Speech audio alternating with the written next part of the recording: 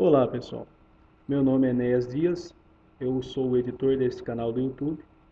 Aqui neste canal eu vou estar ensinando como configurar corretamente o sistema Windows. Configurar corretamente o sistema Windows é ativar todos os recursos e ferramentas essenciais. Na configuração correta do sistema Windows, o computador fica protegido contra ataques por vírus ou por hackers que tentam invadir os computadores pela internet. Bem, formatar o computador e não configurá-lo não adianta e não resolve. Somente formatar e não configurar é como dirigir um carro com as peças todas soltas. Com certeza não irá muito longe. O carro irá quebrar.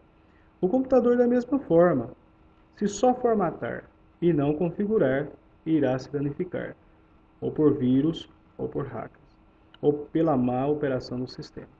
Se você quer aprender como configurar corretamente o seu sistema Windows, assista os meus vídeos no YouTube e vamos juntos tornar a internet mais segura para navegarmos. Muito obrigado pela atenção, boa sorte e até mais.